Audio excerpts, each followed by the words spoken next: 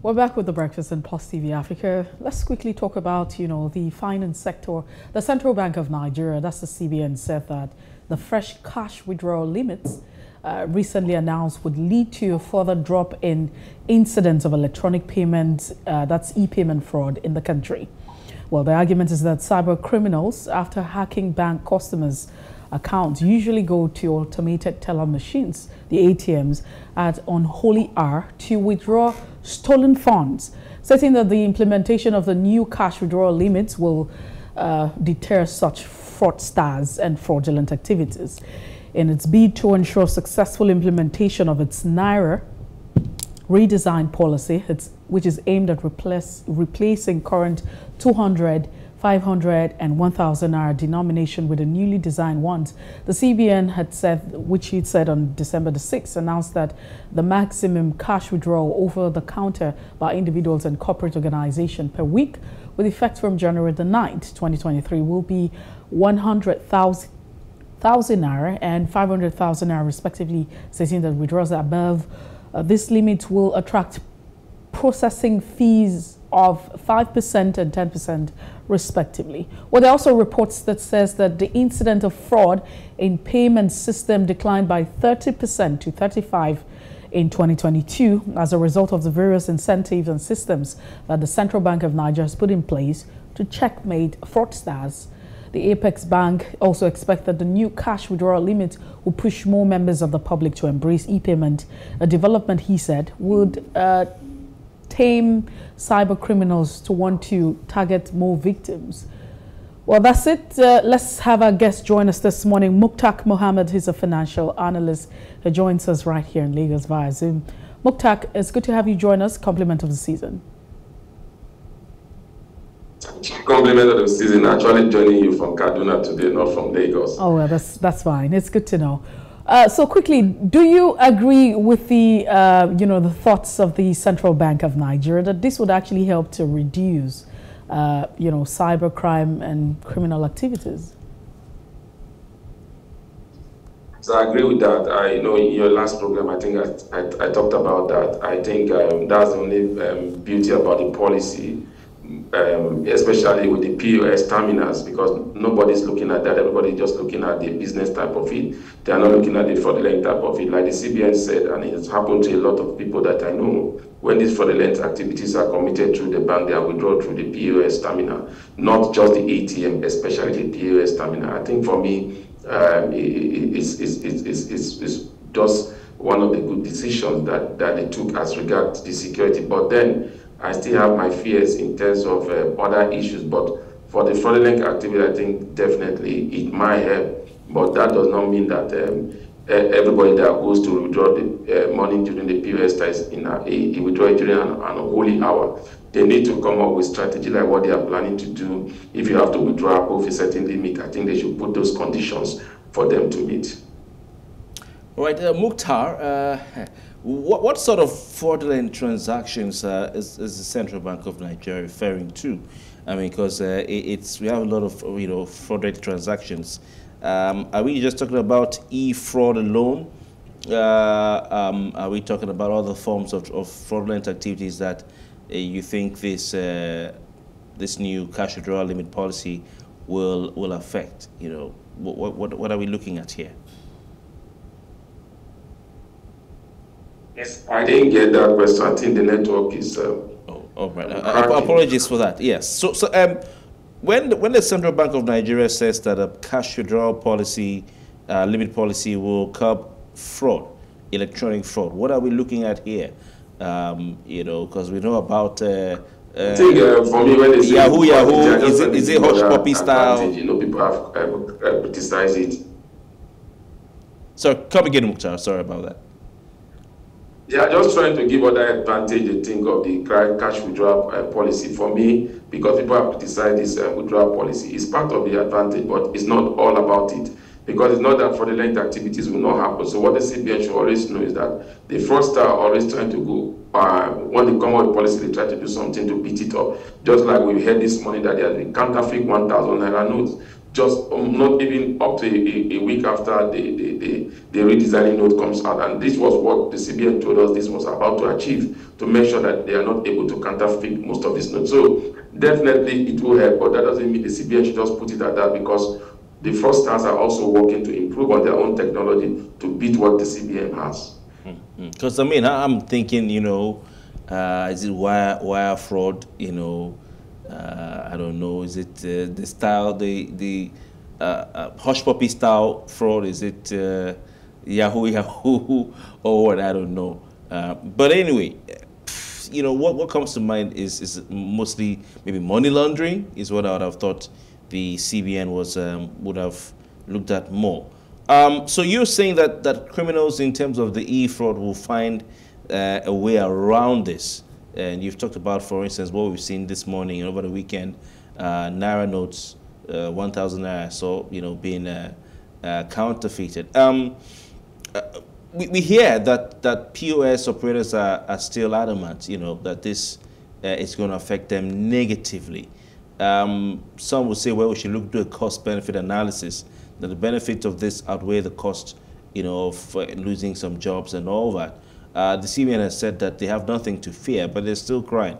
I mean, in today's papers on the front pages, we had at least one paper uh, giving coverage to that. So what do you say to this uh, side of the argument, which the CBN probably is trying to justify by looking at the benefits? What do you say to that side of the argument about the loss of jobs? I think um, that side of the argument, that side of the argument is still okay, but we need to also uh, look at the larger picture because um, uh, the POS terminals also have created jobs and especially in an economy that we are now, that um, job creation is becoming like rocket science. So definitely, I think they have a point, but that does not negate the fact that um, the right thing has to do, because when you are talking about fraudulent activities, your report just told us that CBN said they were able to reduce it by 22%. Even with that, there are a lot of fraudulent activities. And moreover, most of the people that are affected by these fraudulent activities for POS are mostly those vulnerable Nigerians, those that are in, in the in the rural area. So the CBN has to do everything to protect their, their, those people because they are definitely the poor of the poor. So the, as the POS um, operators, I thought what they should be discussing with the CBN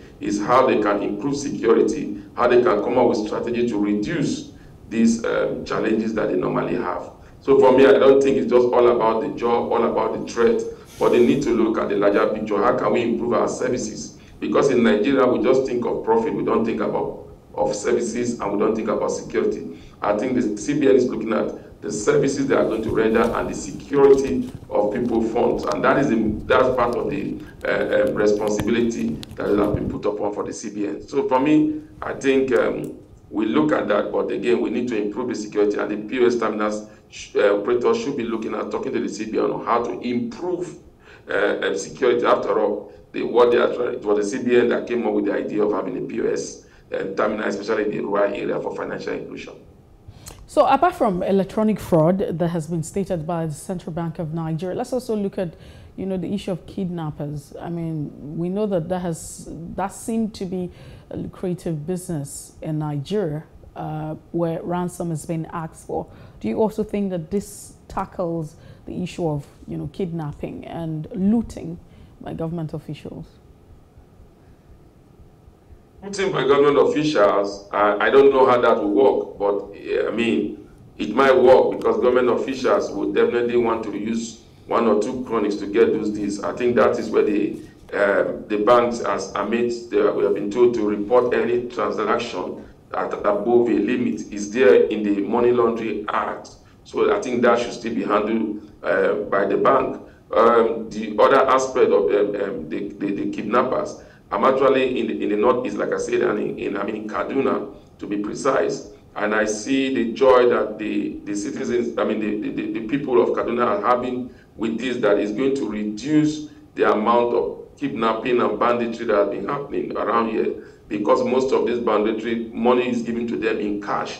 And they even said that most of those bandits are even now, they are, they are, they are, they are in a panic mood because some of them still have this liquidity in high amounts they don't know how to bring it back to exchange it for the for the for the new naira note. So definitely it's going to help security. I have to say that initially when the CBN came with this policy, I said it that the policy is both an economy and security policy. So definitely it's going to help, especially knowing fully well that kidnappers normally done their transaction by cash. But again, that puts the victims at risk because it's now in the heart of the victim to want to meet the demands of the kidnappers. So I think they, they, they, it's, it's not a win-win situation as it is now because the victim family will want to look for every available means to, really, to get their, their, their, their, their, their people out of the kidnappers down. And the CBN and the security agencies will want to protect. So definitely it's not going to be a win-win situation unless the security apparatus are up to their game, using that as a, as, as, as a means of arresting the kidnappers, telling you, okay, we give you this phone, but we have to we have to know how this phone is going to move. We are going to position our people so that when they come to collect it, we'll be able to strike. It's not going to be just the CBN. The security people also have to up their game. All right. Um, the CBN have said that uh, they experienced a 35% decline in electronic fraud, uh, you know, as they increased uh, cashless transactions in the country. But I mean, if like you said, if these guys want to make their money, they wouldn't mind looking for new ways to, to defraud people. Uh, the CBN is also saying that uh, most of these uh, people who commit fraud online withdraw the monies from ATMs between 2 a.m. and 3 a.m. to draw a whole lot of money. So if they place this limit, it will be hard for them to withdraw.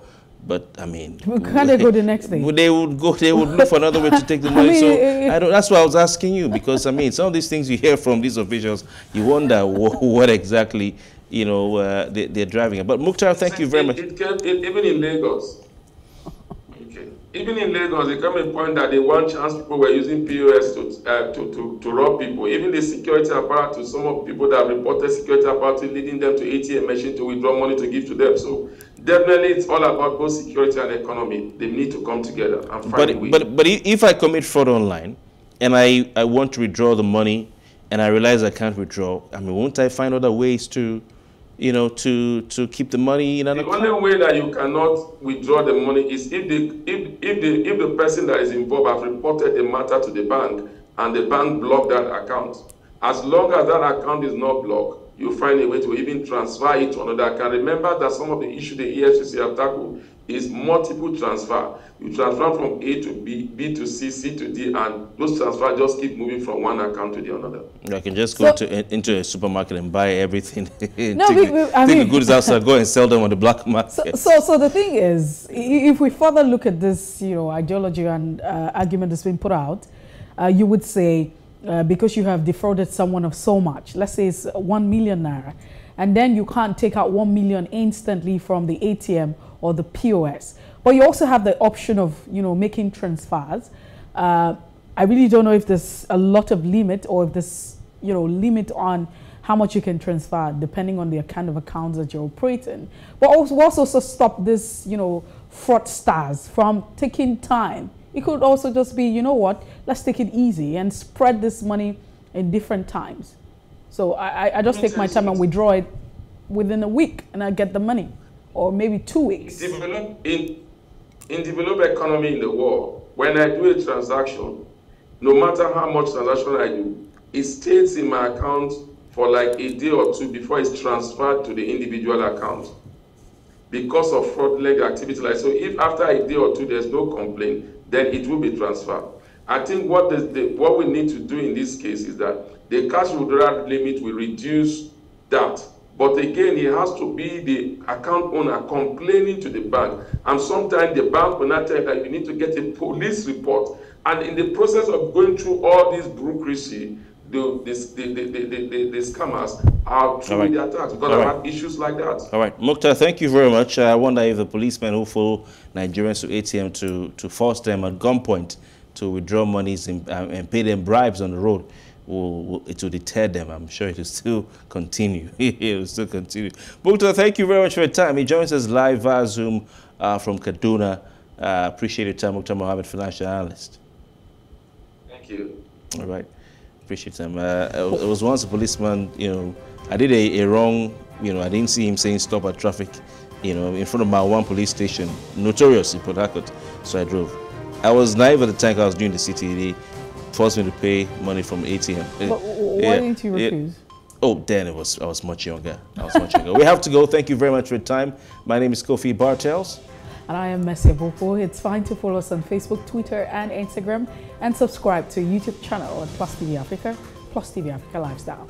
Have a fantastic day.